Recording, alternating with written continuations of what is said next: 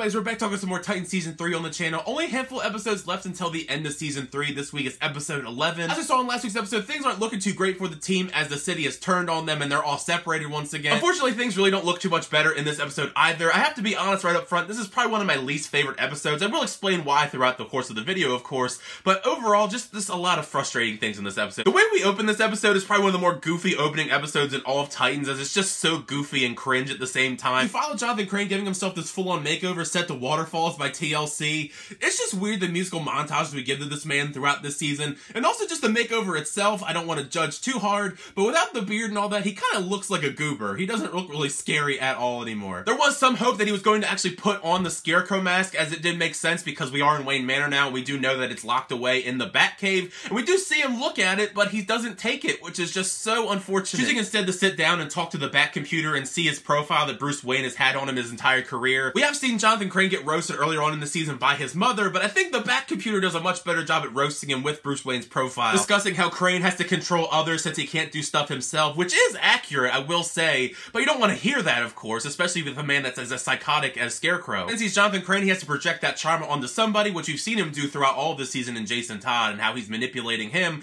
But this poor pizza guy as well, he delivers a pizza to Wayne Manor, only to get his head bashed in, and he's strapped to a table, and Jonathan Crane tries to torture him, but he has trouble doing so. He has this sort of psychotic break inside of him. At this point in time, I'm kind of tired of seeing the Titans team broken up into several different subgroups all the time, but we are at that point once again because everybody's separated. I've been saying this all season, but I'm really glad that Gar's getting more to do as we do see more of the follow-up of him and Rachel's storyline. He wants to go find the Lazarus Pit as he explains everything to Rachel. Rachel easily knows how to find it, and that's their whole adventure for the rest of this episode. Their chunk of the story is probably the one that takes the least amount of screen time, but I just enjoy the banter between Gar and Rachel, and that's something I've sorely missed all throughout season three. And I think that is part of why Gar has not really been heavily featured because he doesn't have a main storyline, unlike some of the other characters in the show. Because even when they try to incorporate him into the main storyline, having him go talk to Molly, Jason's friend, it still ended up with him kind of just being on the outside looking in, and that just sucks. In this one episode, Rachel and Gar do find the secret Lazarus pit that Jonathan Crane has. Somehow there's bats in there, but somehow Bruce Wayne didn't know that this secret Lazarus pit existed. You know, whatever.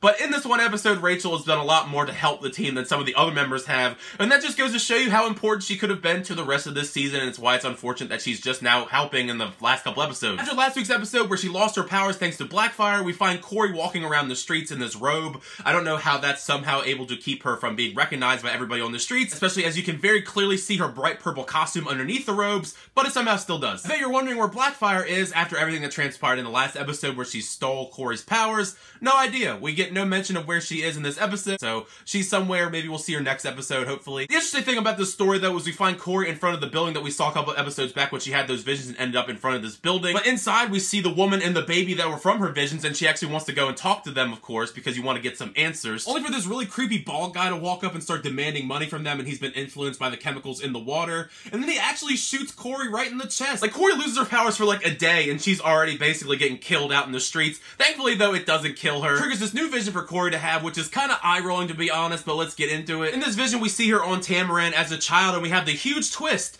Kory wasn't actually born with her fire powers. Her parents lied, and Blackfire actually was born with them, but they swapped them out at birth and gave them to Kory. So that's pretty lame that she actually didn't have the powers themselves, the fire powers. They were stolen all along, so I guess in a sense Blackfire stole them back. And with the added kick, we go back to the real world. We see Kory back with a gunshot wound in her chest. She starts floating up in the air and glowing blue. And this giant blue energy blast comes out of her and hits the ball guy as he's trying to run away.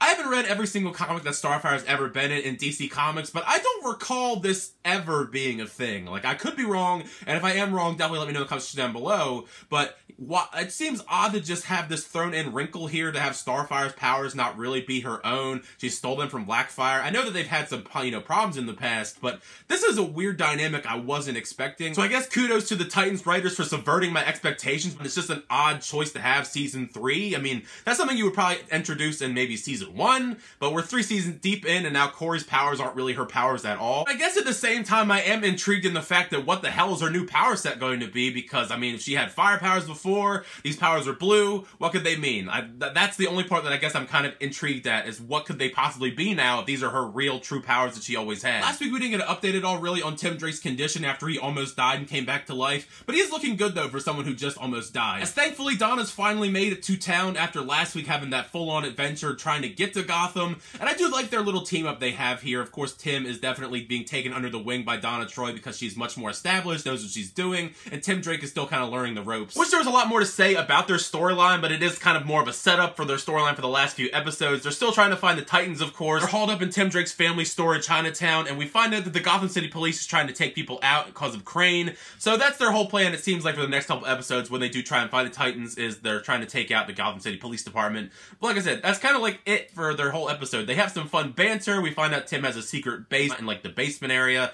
Otherwise, there's really not too much substantial to talk about other than that. We end over the last big story beat of the episode. Connor, Dick, and Krypto are all hauled up in their little area. And Red Hood actually makes a live broadcast calling out Nightwing, wanting to meet up and finish things for the last time. One of the big frustrating things about this, especially because it's hammered home multiple times in this episode, is that Connor really wants to help Dick out with this problem. He could probably take it out pretty easily. He is very powerful, but Dick refuses to let him help multiple times in this episode, and it's just kind of ludicrous at this point. Perhaps it's a pride thing because of the connection between Jason Todd and Dick Grayson and the Bat family as a whole, but Connor has superpowers, like Nightwing does not it makes more sense to have him help you, but he refuses. What's even worse is that Dick blows kryptonite dust in his face that he got from a safe earlier, and Krypto as well, so they're not going to be able to assist even if they wanted to. So that is just so asinine to me. Despite that though, I do think the actual fight between Nightwing and Red Hood is pretty awesome. All their fights throughout season 3 so far has actually been pretty great. I just wish we had more of fights between Red Hood and the rest of the Titans. It has been very much a Red Hood versus Nightwing kind of battle all season long. Especially gets crazy when random bystanders start getting involved trying to shoot at Nightwing.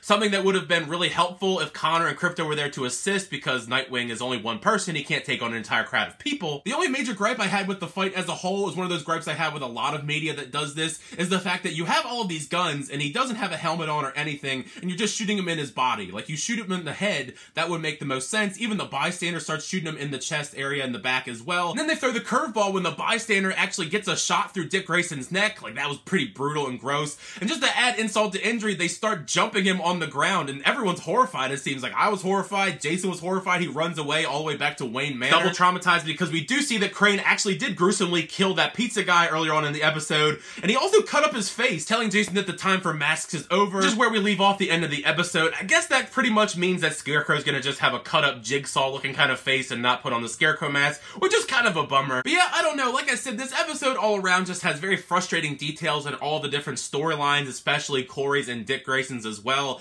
Stuff I didn't really get along to talking about the stuff with Rachel. It seems like when they're at the Lazarus pit and she feels something going wrong with Dick and she starts freaking out. I don't know if that means that maybe we're going to have to put Dick Grayson in that Lazarus pit because that's at least what it seems like to me after he gets shot in the neck and then he's getting jumped at the end. I don't know how he's going to survive that one. Who knows, I guess. But make sure you share your thoughts down below. What did you think of episode 11 of season 3 of Titans? Do you like the episode? Do you not like the episode? What is your thoughts and theories of what's going to come next to the last couple episodes we have left? Like I said, there's only a couple episodes left of season 3, so we are heading towards the finale and it seems like we're heading towards a very interesting conclusion to say the least. Thank you for always sharing my reviews. I really appreciate it. Make sure to like and subscribe button. Keep your reviews checks and boxing the more on the channel. But next time, see you guys later.